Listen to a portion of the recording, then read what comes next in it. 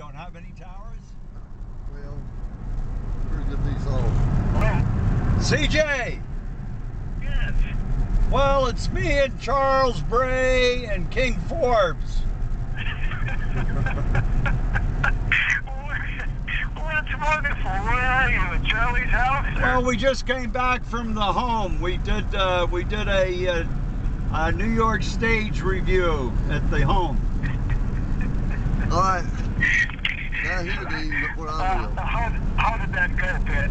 Uh, uh, how did what? How did How, how did that go with Jeanette? Oh, well, you know, she pretty much just stared at the. Uh, Yeah. Turn here, Dean. Yeah. We're pu- we're pulling into Charlie's driveway right now. But uh, you know what, CJ? She looked great. Uh, Charlie said that they take good care of her. God damn, it's a nice place, boy. I'll tell you. Um, it's it's you know sad to see uh, people our age in there that uh, you know. Oh, yeah. Oh, of course. Of Yeah. course. Well, uh, Pat, how was uh, uh, uh, Charlie's reaction to uh, when he's, you know, when you guys met?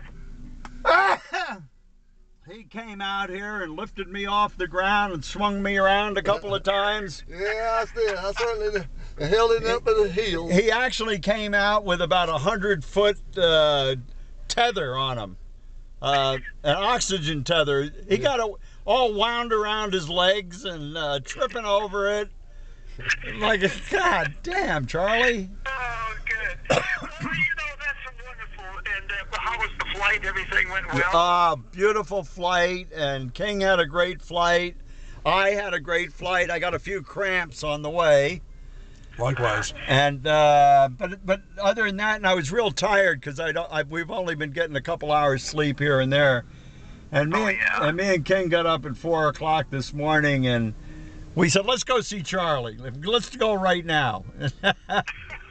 It was still dark. so, uh, let's see. Is back there. It must What- be around it- 11 or Yeah, 12. it is. It is. It's twelve o'clock.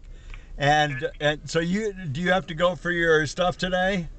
Yeah, I go in about uh, about a half hour. I Oh, okay. Yeah. Yeah, so I'm fine. Well, how, how did you and King meet? Where, where did you meet? Well, you know, I got into the airport and um, I was able to. He came in about an hour and a half after me, so I was able to um, to get my rent a car. I got a big old, not a big Mercedes. I got a C 300. Uh, I paid extra. I paid extra money for it, but I figured since we're going to be driving all over the damn place, you know, Unlock it, Dean. huh? Unlock it. I locked it. I did. I I'm didn't. locked in. Just a minute. got me locked in, CJ. Good. You need to be locked in. Need to be locked up. I'm be at Clarksville jailhouse. So then we, and then uh, well, so then I went over and got the rent a car and left it there at the lot. Got took the Hertz bus back to the airport. As soon as I got back, King was in, so I picked him up. We took the bus back to Hertz, picked up the car, and uh, drove to our hotel, which was about oh seven ten minute drive from the airport. It's real close by. Nice hotel, beautiful hotel. Uh, Great. And, you, yeah. and, and are you catching good weather? Uh, yeah, well, you know, it it drizzled a little bit yesterday, but and it's it's overcast today, but it's not raining. It's nice. It's, And what, what are your plans for the day? well, we're getting ready. We're gonna leave Charlie and go back. Um, uh, we'll probably get back two or three this afternoon into um, into Charlotte. I want to get in there before the uh, rush hour because we hit the rush hour coming out here and it was terrible.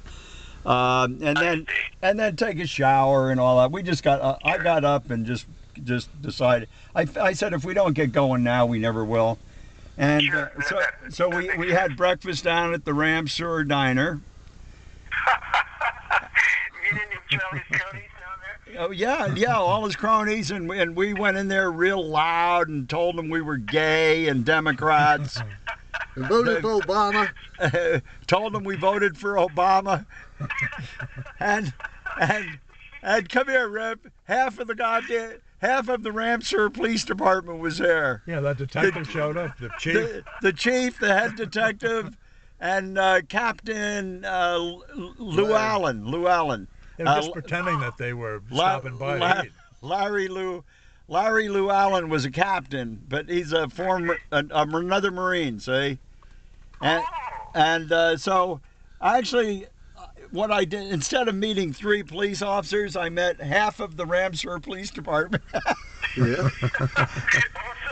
I- Three of the six, huh? Okay. I so on my way out, I'm so I I meet this guy Larry Llewellyn, Captain uh, Llewellyn, and I call I was calling him Chief, and then I he's out having a smoke or something, and I walk past the so the Colonel, the real Chief.